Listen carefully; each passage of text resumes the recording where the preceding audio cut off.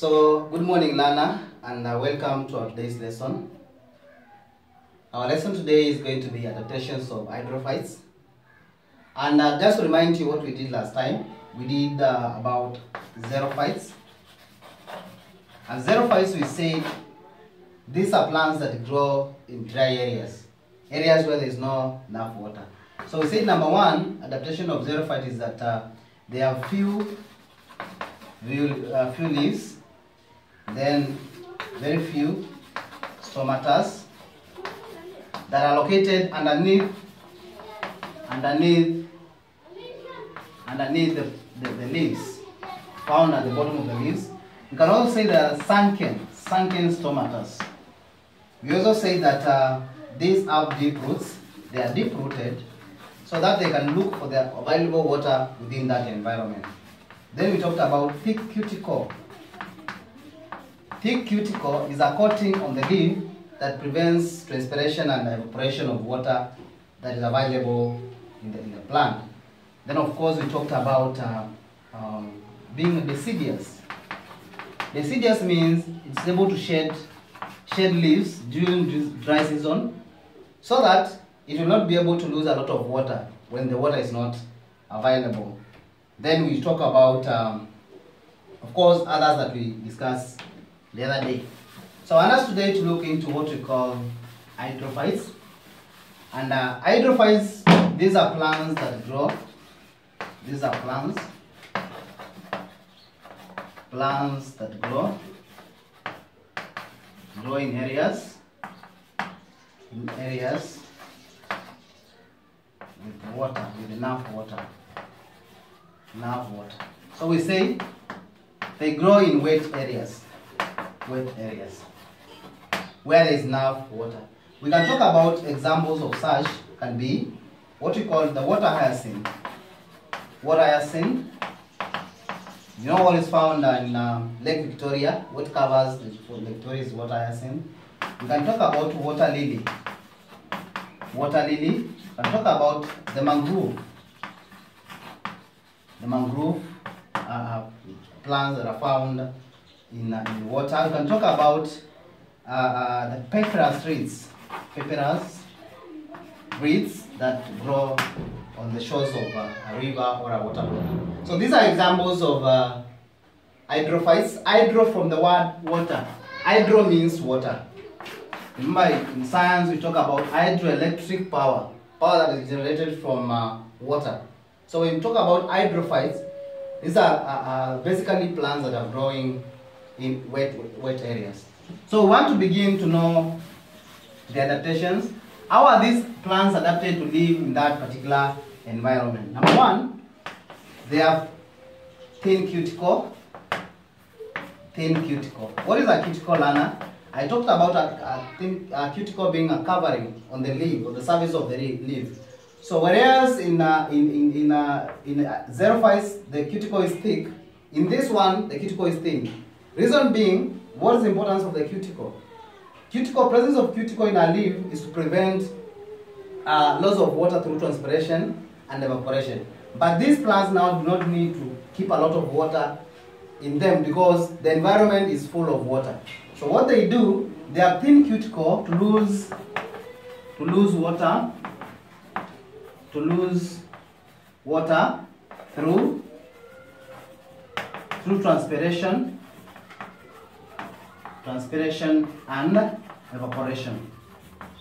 They want to lose water because in the environments that they are growing in, there is availability of water. So they don't need to keep more water for themselves. Number two, an increased an increased number number of stomata.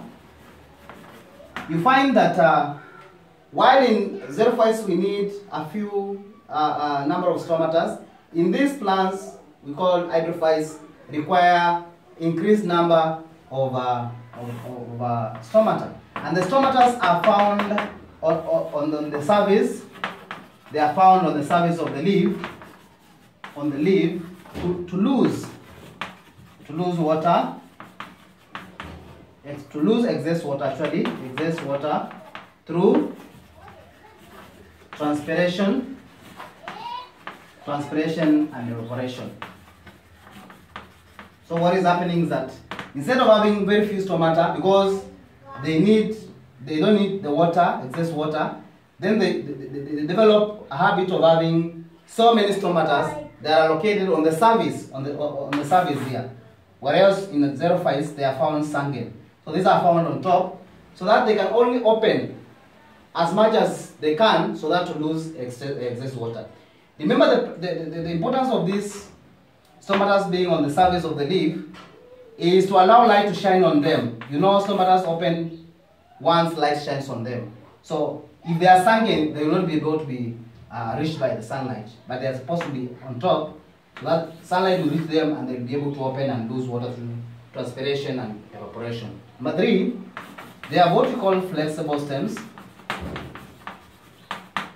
Why do they have flexible stems, Lana? A flexible stem is a stem that can move with, with, with air currents or water currents. So we know that um, at the shores of N River and all that, we have what we call water currents. Water currents, we have air currents, we have waves. All these are going to sway these plants. So to prevent them from breaking, prevents them from breaking. Once there is these air currents, where the, once these air currents are there, or water currents are there, so that the plant does not break. So it has what we call flexible stems. In the, uh, the shores, in the, in the rivers, we experience a lot of waves, a lot of wind. So this is to enhance or to make it uh, stable so that it is not going to, to, to break under dry. So that's one adaptation. Unlike in uh, xerophytes where you find that most of those plants are woody, meaning that they are very strong because of the area they are growing in. Number four, we have large, large flat, large flat leaves. We found that in, um, in xerophytes, their, their leaves are spines. They are modified to be spine. But now in, uh, in hydrophytes, the leaves are large, like that. So that they expose so many stomata to the, to the, to the sun to be able to lose water through transpiration and evaporation. So their surfaces are large. They are not reduced to uh, spines like in uh, cactus and so forth and so on. But their leaves are, are, are large. Look at water hyacinth in Lake Victoria. Their leaves are so big. The water lily and so forth and so on.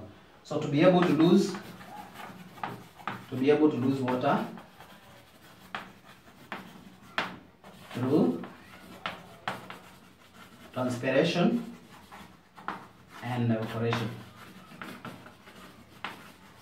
So this surface here increases service area of uh, for water loss. Number five, talk about air sacs. We shall also talk about air sacs when we'll be dealing with with uh, with uh, with plant. I mean uh, animals. And, but, but in this case, we call what we call them uh, the, the, the bladder, the air bladder. The air bladder keeps the the fish afloat on water. So the air sac in this case keeps these uh, plants afloat to keep to keep the plants afloat on water afloat on water and why what is the importance of it being afloat because at this time this plant will also flower it will, it will, it will remove flowers so those flowers needs to be to be pollinated so if the flowers are found inside the water the, the insects or the, the, the agents of pollination will not be able to see them like the insects. So they are supposed to be floating so that the agents of pollination will be able to see them and pollinate them as well. So the air sacs ensures that uh, the plant remains floating. Then number six, talk about waxy cuticle or the leaves are hairy talk about leaves with a waxy or airy upper surface. So what is importance of wax? Lana, if you know you know what, what wax is, that is made from uh, is got it from uh, the cobs. The honey cobs. The honey cobs is where you get honey. After getting the honey, you make some, some, some wax there. So this wax is oily, it's like oil. So the leaves on the upper surface, they have airy or wax surface here, so that any water that is coming to land there does not stand. Once it lands there, it will slide because of the presence of these wax. Wax is just like oil. Try to put some, some water on an oily place where there's oil. The water cannot stand on that particular oil place because the, the oil is slippery. So they have waxy part, part of the leaf so that any uh, drop of water that is coming there cannot stand. If it, if it stands there, it means that it has closed the stomata. It has, it has covered the stomata, and so there is no evaporation of water that is going to happen. And so that means that the plant is not going to lose water. So for these ones, they have a wax cuticle or airy part of the uh, I mean, a surface of the of the leaf, so that any drop of water that lands here can be done away with very fast. Does not stand here, so that to allow evaporation, to allow, faster evaporation, allow faster evaporation and transpiration of water. Prevent the standing of water on this part. That's what the reason why they have waxy, waxy or uh, wax cuticle or airy surface on the leaf. So that any water standing uh, there can be can be cleared as fast as possible so that the stomatas are always open and losing water at the same time. But if the water comes and stands here, it means it's going to close some stomatas and the plant is not going to lose water. So that is the importance of that. Then next one we have um, adapted, they have adapted roots. Their roots are also adapted. Number one, we find that uh, the roots are adapted. Number one, they are adapted in three ways. Number one, we have what we call uh, small, small roots. The small roots, unlike in uh, in xerophytes where we find that uh, the roots are, are, are, are well extensive and long to be able to capture water. For them, they have small roots, not to absorb, not to absorb water. And then, the roots are also adapted in another way, that they are, they they they are small to reduce amount of water absorption. Then others may have, uh, may have are also adapted to oxygen and mineral salts absorption. Mineral salts absorption. And lastly, you realize that these roots adapted also to balancing the plant on water. Balancing the plant, plant on water. So the roots of hydrophytes, they should be number seven.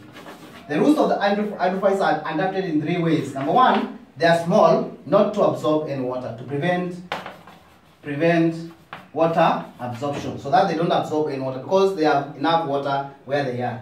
Then they are also adapted in a way number three, whereby they can be able to, to absorb oxygen and mineral salts.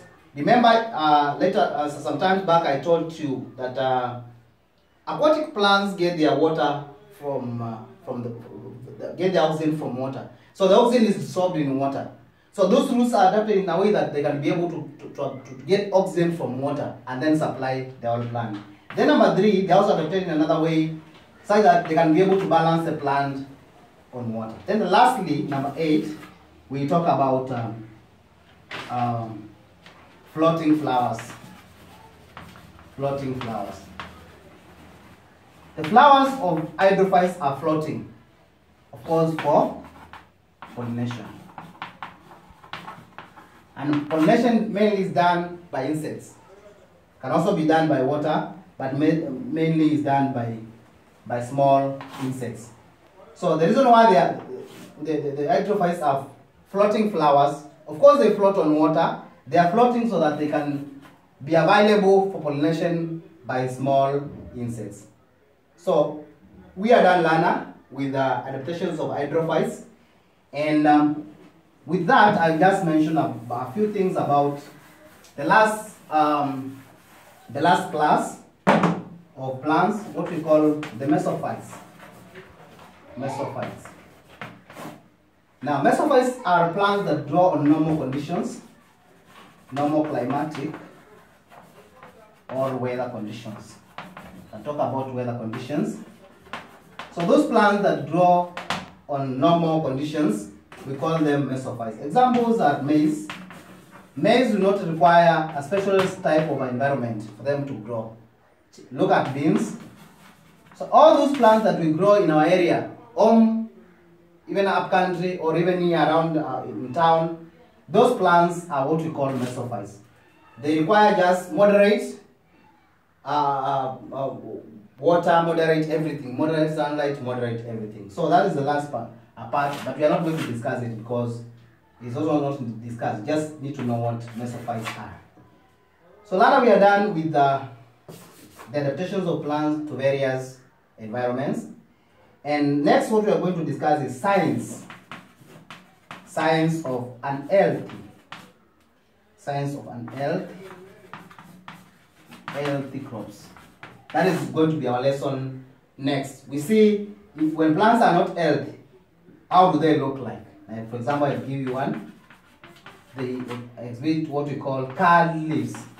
The leaves are curled, they don't grow normally. So until next time, Lana, I want to wish you well and may God bless you. Thank you.